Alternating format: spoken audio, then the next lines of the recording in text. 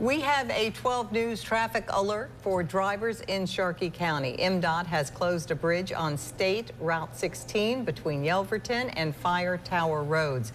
Drivers should seek an alternative route around the closure.